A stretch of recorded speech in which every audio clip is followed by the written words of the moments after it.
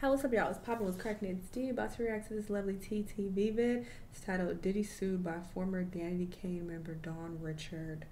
Uh oh. Let's hear what she has to say about him. Let's watch. Hey, T sippers. I hope you guys are doing good. So it looks like it is going down. In the words of Katt Williams, all lies will be exposed. 2024 continues to be the year of exposure. It is definitely the worst year of P. Diddy's life, okay?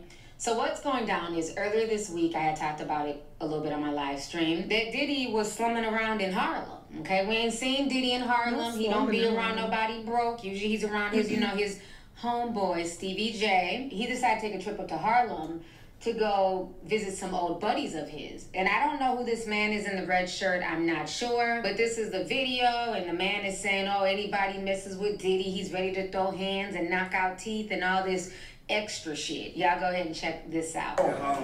First of all, it's all Harlem love. Y'all already know. It's not even saying it in front of him. You know how punches people teeth out playing about him. This is family. This is love. Oh my God! All love. And he's brushing those waves. And he's brushing those waves. This is Booby Smooth groundwork. Harlem. You already love, know what it is. Love ain't nothing but love. Yeah. All right, so you guys just saw Diddy with his crackish friend. So after that, Diddy then decided to go meet up with G Dep. Now, if you guys watch my deep dive that I did months ago, G Dep was a rapper on Bad Take Boy. This money. Um, he put in Take work. He ended up, you know, finding Christianity, confessing to a crime, and he did 13 years in prison. So out of the blue, Diddy decides to go to Harlem and go visit G Dep. G Dep wow. was released five months ago. So this was their interaction. Five right months here. ago? How long was he in jail?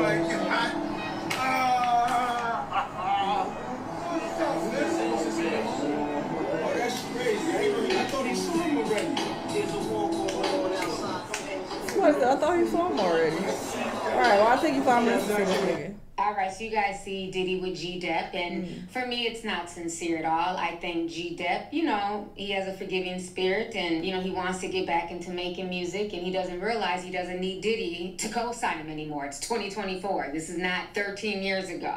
But anyhow, um, what's very interesting about this, Diddy's acting like this is his long lost best friend, like he was putting money on his books. But when G Dep first came out, he was asked by Art of Dialogue did, did he spend any time with you? Did he come to see you? Did he, you know, look out for you while you were in prison for 13 years? And the answer, of course, years? was no. Y'all check this out. Did, did he reach out to you while you was in prison?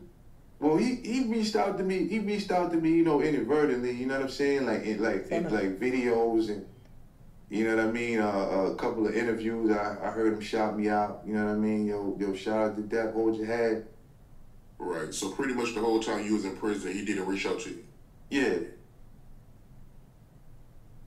How you feel about everything Diddy going through right now? Like his houses getting ready for sex trafficking. How you feel about that? Well, I mean, I you know I feel like you know whatever's going on, you know, he, he need you know he's he's gonna handle it. However, whatever happens, you know, whatever whatever transpires, you know what I mean. I mean, like I said, man, I don't, you know, I don't know, I don't know what happened. I don't, I don't even know what's going on. You know where I was at. You know what I mean? So, you know, I just, I hope, I hope the brother get around it, man. You know what I mean? Whatever's going on. Shouting you out is not reaching out, okay? Shouting you out is him reminiscing, his narcissistic ego being stroked, because at one point in time, you and him had a hit. He would not have shouted you out if he wasn't adjacent to what he's talking about. So he did not look out for you, but you're steadily living in the past when he did not reach out. He did not call. He did not, you know, send commissary. He did not reach out to your wife. Let's keep that real, G Dep. So, you know, obviously, G Dep, he's been locked up for a long time. He, he just doesn't know. You know, he went to meet up with Diddy in Harlem and they did the little photo op. And of course, many people, like myself and others, saw through the nonsense.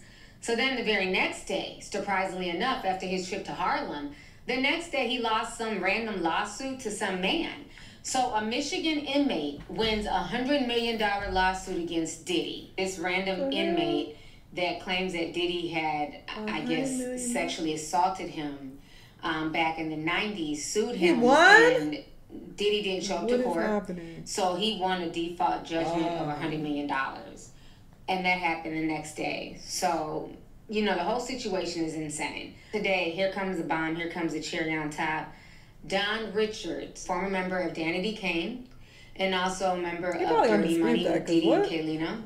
She has come out and she's Is that what basically suing Diddy for battery and sexual assault. Oh. So this entire situation has the internet going nuts right now. Excuse me. On Twitter, on Instagram, everybody's talking about it. So I'm gonna go ahead and read what she is saying happened to her. So according to the suit obtained by TMZ, Dawn Richards says she got caught in Diddy's web as a participant on his 2004 MTV show Making the Band, with the Bad Boy CEO manipulating her by promising to advance her singing career if she relented to his alleged twisted demands. The former Danity Kane member said during on-set auditions, Diddy called female contestants fat, ugly bitches, and hoes. She said Diddy had particular disdain for drinking her waters. because she was young and excited to work with such a famous person.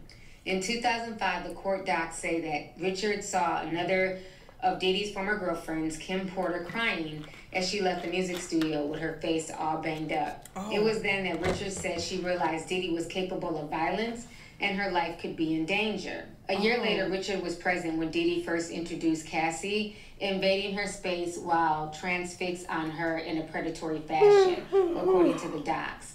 In 2009, she says she personally witnessed Diddy high on drugs, throw Cassie against the wall, choke her, and drag her up a flight of stairs in his LA home. Oh. Richard says Diddy also hurled a scalding pan of eggs at Cassie while yelling, I've been Eggs? asking you for my shit. I can't stand you, bitch. You never do it right.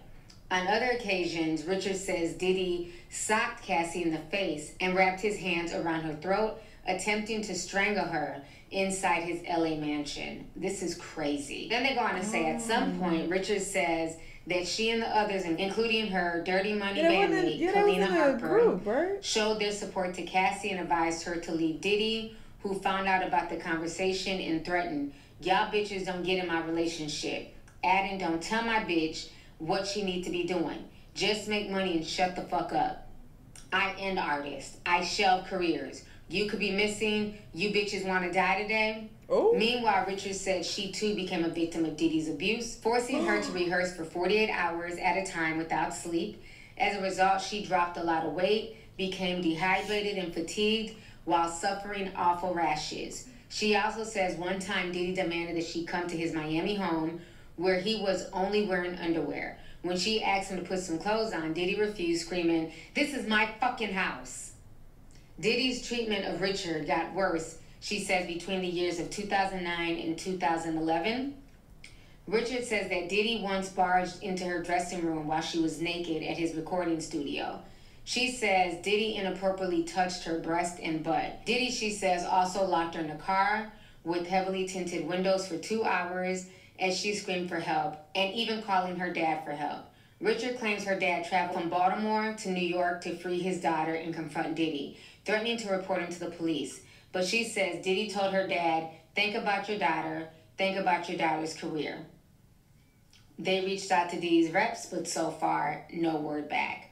So this is causing a lot of controversy. One, because if you guys do not know, um, Dawn was recently featured on Diddy's album that he dropped last year, the Love album, and that song is Oh. called "Deliver Me," featuring Busta Rhymes and Dirty Money, which Dawn is a part of. So a lot of people are saying, you know, if you were going through all this and he was so Why wicked and you already gotten out your contract, why would you go back and jump on an album with him? That doesn't make any sense. Some folks are saying that Diddy stole her vocals and used them for this track. I don't even really believe that. I believe that she willingly went and, you know, did the track with him. You know, it is what it is. Obviously, she probably needed the money and the exposure. But the thing that bothers me with this situation is the fact that Aubrey O'Day and many others have been talking and sounding the alarm bells on Diddy for years. Let's not forget Yeah, after Aubrey the Cassie incident happened, you know, um, Dawn said this. Dawn said, praying for Cassie and her family for peace and healing. You are beautiful and brave, right? But um, Aubrey O'Day has been calling him out for years. She talked about him on several podcasts, you know, the mistreatment. She's been very, very vocal, and I haven't seen Dawn really have Aubrey's back or speak out or even co sign anything that Aubrey has said. And I think that's sad. Because she knew the truth and she refused to say anything um, up until now. So let me go ahead and refresh y'all's memory on what Aubrey O'Day was saying. I wasn't willing to uh, do what was expected of me. Hmm. Not talent wise, but in other areas. It's difficult when you're that young to understand your worth as a woman through the men that I was around, and that was very traumatic. I don't think any of us have healed from that. Diddy would be like, You're not hot anymore. Like, what happened? You don't have anything, like, you don't have any curves. You're looking like just, you're not looking like, I can't get people to think that you're my good looking person. And there was no Me Too at that time. There was no protecting anyone at that time. You signed a million NDAs and a million contracts that took away all your rights. All right, so you guys just mm. saw those clips. Now, I, for one, believe Dawn. If you guys were around and you guys watched the making of the band and how he treated those girls, especially Aubrey, he treated them like trash and he definitely played mind games. He played them against each other. To this day, the only one that communicates with all four members is Aubrey. The rest don't even talk to each other. You know, he definitely pitted D Woods against Dawn a lot because they were the two black girls in the group. And um, it's just really sad that this happened to her. And I wish she would have spoke up or felt more comfortable speaking up sooner. Um, but it is what it is. She's ready to tell her story and she has the right to tell her story. Um, Diddy is going down. Even right now, he's trying to unload and sell his Beverly Hills mansion. I feel like it's taking a long time. Oh shoot.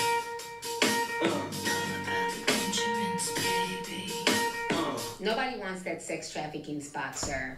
That's probably going to be on the market for a while now. But like I said, the rabbit hole with this situation goes very, very deep. And um, you know, with everybody coming out the woodwork against Diddy, it's showing that something sinister was going on in his camp. Between him, his son Christian, Carisha, and all these other people, there was a lot of sinister things going on. I'm just curious, when is he gonna go down? Because at this point, everybody is exposing him and revealing what happened, you know, during their time with him. So I just don't understand how he's still a free man. I get these cases take time to build, but considering they just raided his house not too long ago, I would think they already have a lot of evidence already, but maybe they're still gathering more. I'm not sure how these things work, but yeah, it's just a lot. Like it's clear that he was abusive and horrible to a lot of people around him, especially women. So yeah, I guess we have to just wait and see when he officially gets arrested. Y'all let me know what y'all think though. Let me know what other videos you want to watch and I'll see y'all in the next one. Bye.